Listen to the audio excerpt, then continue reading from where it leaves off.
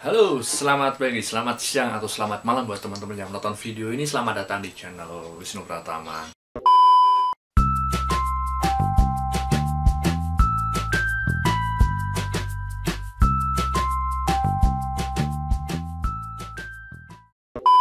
Gimana kabarnya? Semoga kalian semua yang menonton video ini baik-baik aja.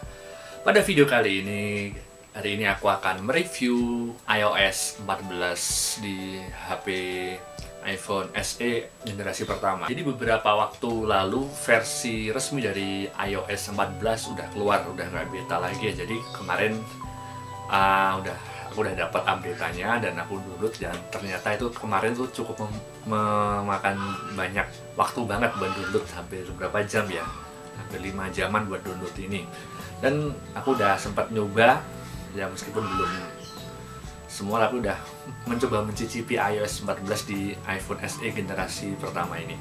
Jadi pada hari ini kita akan aku akan mereview uh, dari iOS 14 di HP iPhone SE generasi pertama ini.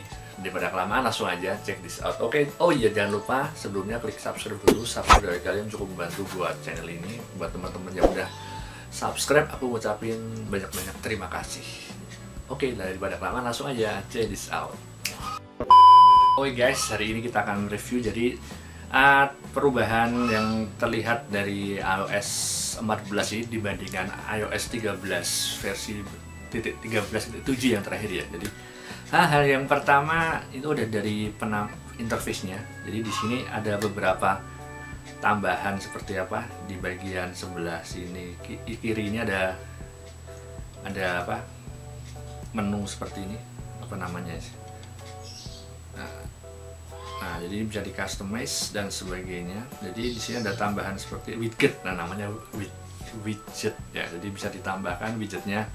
Ada ini tips terus ada maps ada podcast notes reminder baterai kalender dan sebagainya. Jadi widgetnya ya.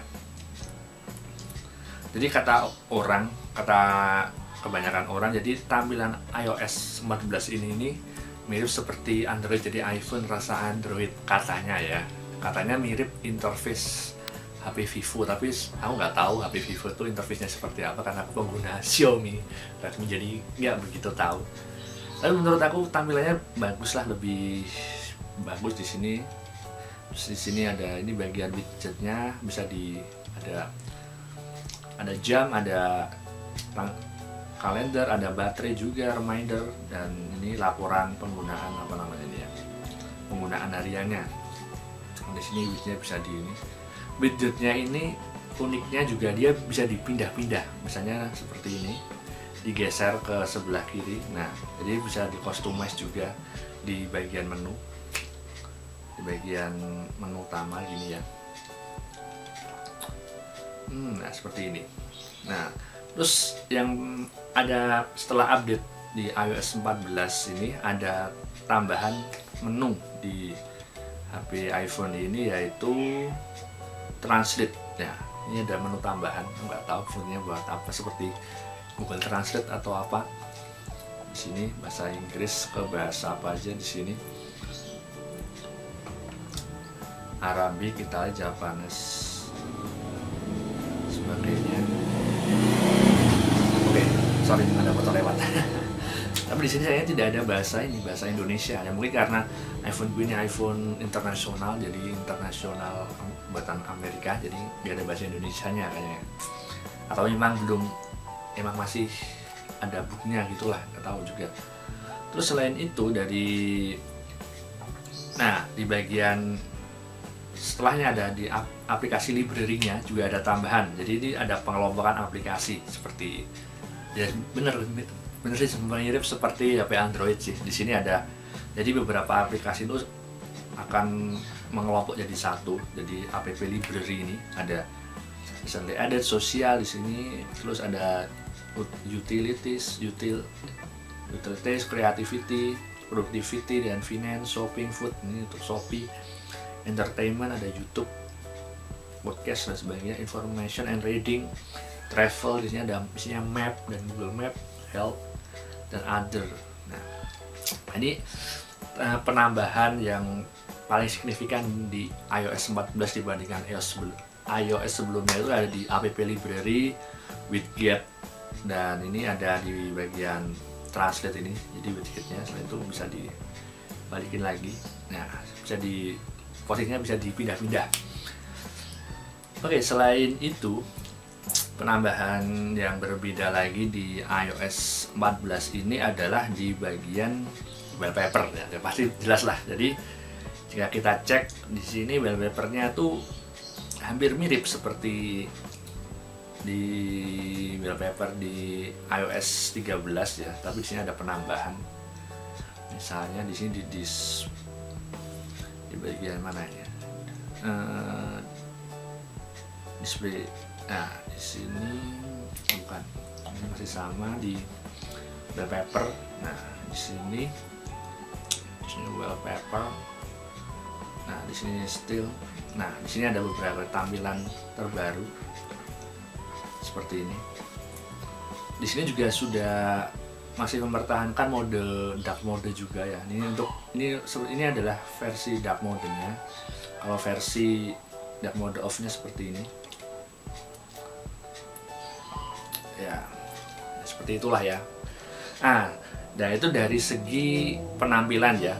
Nah pengalaman aku juga yang setelah beberapa waktu lalu update di iOS 14 ini yang aku rasakan adalah baterainya. Jadi baterainya itu cukup menurut aku di iPhone SE generasi pertama cukup boros banget. Jadi kemarin itu aku selesai update tuh baterai kondisi masih 100% dan aku pakai untuk membuka macam-macam tuh hanya beberapa menit aja itu sudah turunnya sudah cukup drastis banget. Jadi jadi 97 95 95an lah itulah.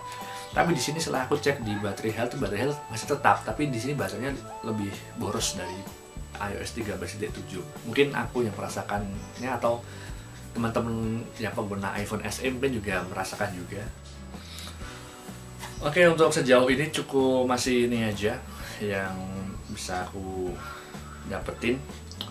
Uh, kemarin aku juga sempat baca-baca di grup pengguna iPhone. Jadi kemarin ada beberapa book yang ditemukan yaitu ini pengguna mo mobile banking ya, yang pengguna bankingnya itu ada yang belum kompatibel dengan iOS 14 ya maklum lah baru keluar uh, resminya baru beberapa hari kemarin kan jadi juga mungkin developer dari aplikasi belum mengembangkan juga itu di sisi lain. Jadi kelemahan dari iOS 14 di HP iPhone SE generasi pertama ini yang paling aku rasakan jelas adalah baterai. Baterainya lebih boros ketimbang dan versi 13.7 ya mungkin itu masih book ya dan aku belum menemukan book yang lain seperti apa. Kemarin juga ada aku sempat baca di beberapa komentar di sebuah grup grup iPhone Indonesia itu eh, grup Apple itu ada yang komplain apa ya jadi setelah di update ke iOS 14 ternyata sinyalnya hilang. Mungkin apa mereka apa mereka diblokir atau enggak juga enggak tahu. Soalnya kemarin beberapa waktu lalu ya kominfo ya melakukan pemblokiran banyak banget HP-HP BM yang nggak resmi di Indonesia pada keblokir nggak kehilangan pada kehilangan jaringannya. Ya semoga aja setelah kalian update di iOS 14 ini nggak hilang jaringan ya. Ya ya mungkin cukup ini aja dulu. Terima kasih sudah menonton video ini. Jangan lupa klik subscribe. Aku Sino Pratama bye bye salam SE HP mungil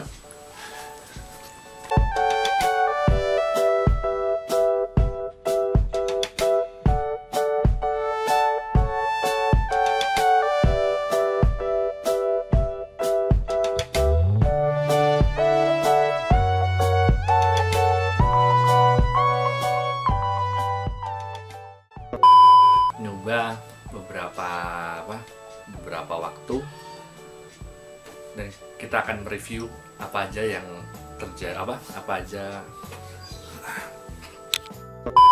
Semua aku udah mencoba mencicipi iOS 14 di iPhone SE generasi pertama ini. Aja check this out. Merasakan ini atau teman-teman yang pengguna iPhone SE mungkin juga merasakan juga nggak tahu